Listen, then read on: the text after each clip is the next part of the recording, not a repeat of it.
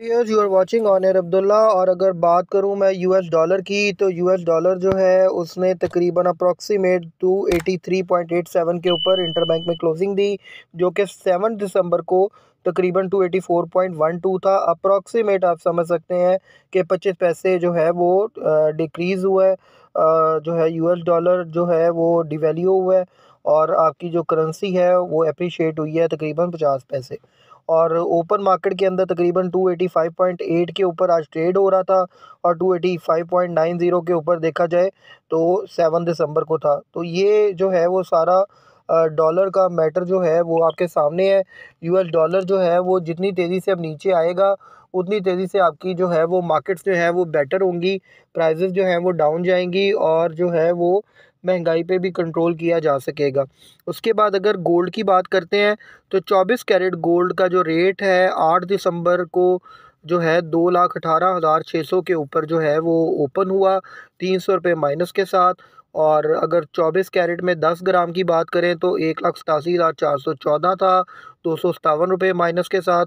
और अगर 22 कैरेट की बात करें तो एक लाख इकहत्तर हज़ार सात सौ छियानवे था। तो मार्केट, इंटरनेशनल मार्केट जो है वो तकरीबन 2050 के ऊपर ओपन हुई और बाद में इंटरनेशनल मार्केट तकरीबन कोई 2032 और 2033 के करीब करीब ट्रेड कर रही है। और देखा जाए तो सिल्वर का जो रेट है वो तकरीबन छब्बीस सौ रुपये पर तोला है।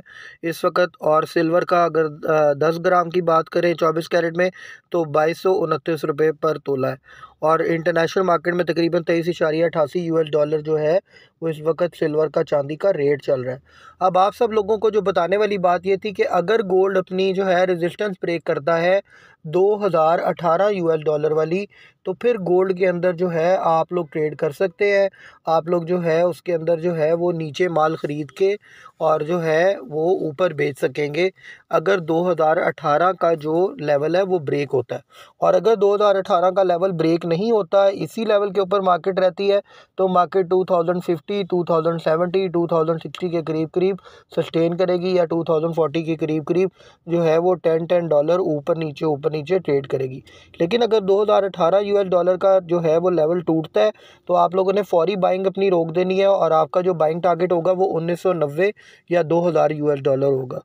Thanks a lot tune up with हमारे चैनल को लाइक करें शेयर करें और सब्सक्राइब करें और बेल आइकन पे ज़रूर क्लिक करें।